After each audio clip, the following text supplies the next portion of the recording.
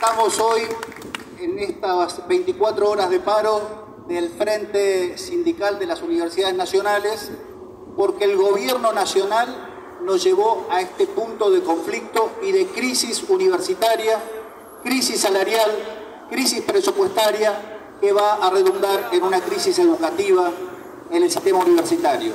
Este gobierno nacional no solamente ataca a la universidad en el contenido del presupuesto y de los salarios, ataca a la universidad en el núcleo más importante del trabajo universitario que es la educación. Y está estableciendo, y de hecho hizo así, armó una línea de denuncias contra los adoctrinamientos dentro de la universidad. Y educar no es adoctrinar, señor presidente.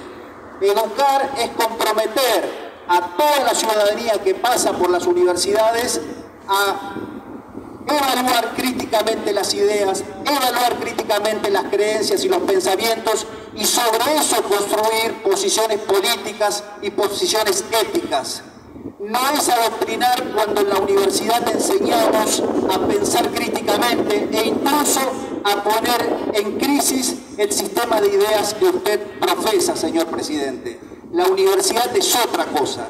Y en esa, en esa garantía de que la Universidad Pública Argentina es una de las instituciones más prestigiosas de la educación, es que la vamos a defender, que vamos a defender la libertad de cátedra, que vamos a defender nuestros salarios, que vamos a defender el sistema de becas para que nuestros estudiantes y nuestras estudiantes puedan estar en las aulas, para que quienes vienen de afuera puedan sostenerse en la Universidad Litoral estudiando, graduándose y para que también la ciudadanía de esta región reciba los frutos de una universidad que no solamente enseña, sino que produce conocimiento para resolver los grandes problemas de nuestra región y de nuestro país.